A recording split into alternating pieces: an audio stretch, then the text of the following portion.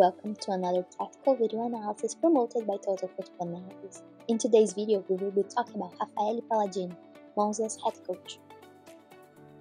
Let's talk about his formations first. He tends to use a 3-4-2-1 formation that can provide extreme balance in all areas of the pitch. It instantly proved to be successful. Monza is now scoring 1.44 goals per 90 and conceding only 0.9 goals per 90. When looking at Monza's pass map under their new manager, it is clear they like to build out from the back.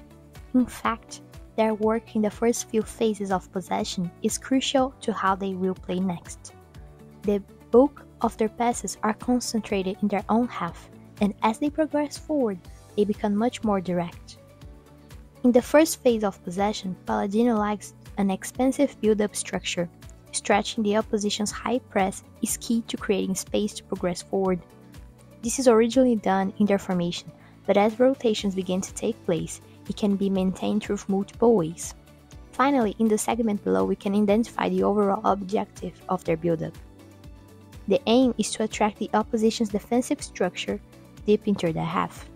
As soon as space opens up, they bust forward with extreme speed and verticality Further up the pitch, Palladino's possession is very wing oriented to provide extreme balance to create wide overloads and progress through the half spaces and wide channels. First, we can use the heat map to illustrate their areas of focus in possession. And despite having four midfielders, they are concentrated in wide areas. Additionally, they are much more active in the earlier zones where they retain possession patiently before going direct and through constant rotations they are able to disorganize the opposition and create passing lanes, whether they have numerical superiority or not. On the contrary, the superiority tends to be tactical and social effective, especially as they get more used to playing with each other. They are not necessarily an extremely high pressing side when talking about defense, but they are still able to recover the ball high quite often.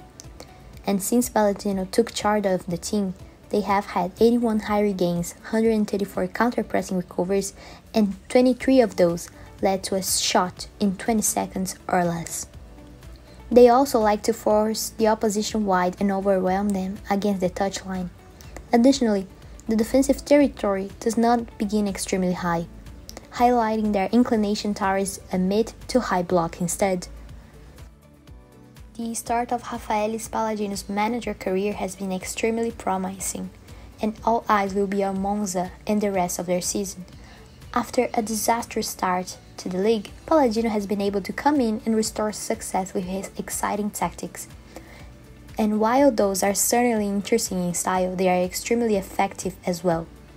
It will now be interesting to see if they prove sustainable.